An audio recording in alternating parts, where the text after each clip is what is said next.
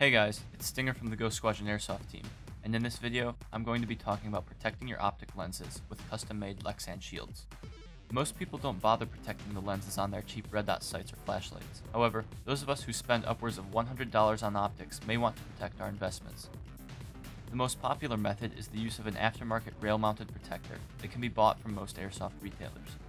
However, these have several issues. They don't provide full seal lens protection, and they act more as sacrificial lenses than as shields, as they are typically made of inexpensive and weak plastics. The ideal solution is a piece of Lexan which has been custom cut to be mounted directly to the optic itself. Lexan is extremely strong and relatively cheap when bought in sheets from a home improvement store.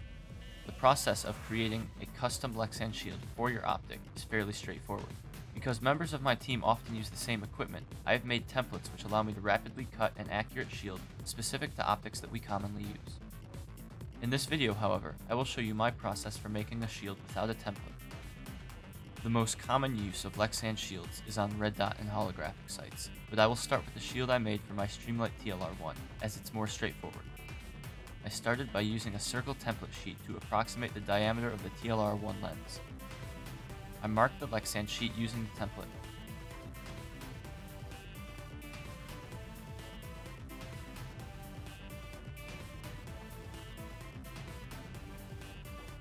Using a bandsaw, I cut the Lexan along the marked route. It's very difficult to cut curves using a bandsaw, so I would recommend another tool.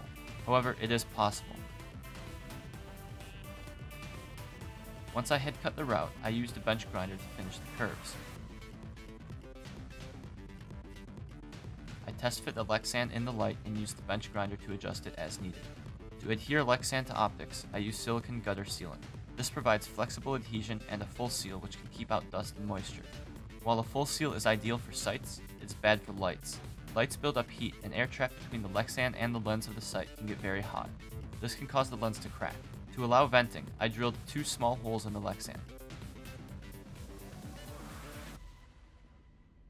I then cleaned the Lexan and coated the circumference of the Lexan shield in silicone sealant.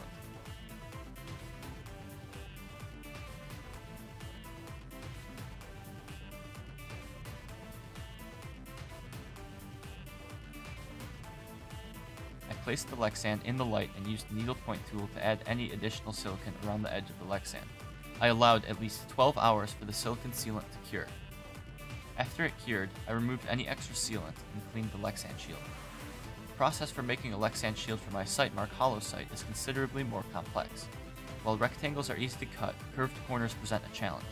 I started by measuring the height and width of the sight's lens.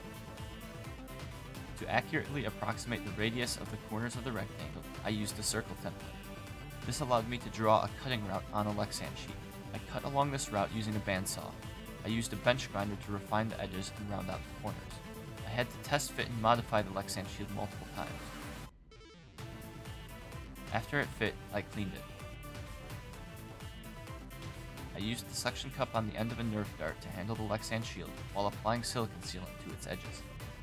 Once installed, I applied any additional sealant needed and allowed it to cure for at least 12 hours.